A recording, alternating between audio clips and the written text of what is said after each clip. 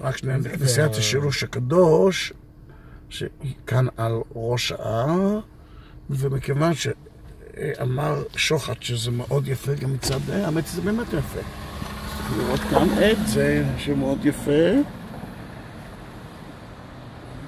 והוא מאוד יפה. אה, וואו. אה, זה פתוח? מי פתח את זה? לא יודע. איזה קטע, הגשם יכול לכנס עלינו. זה הרוס את הגב.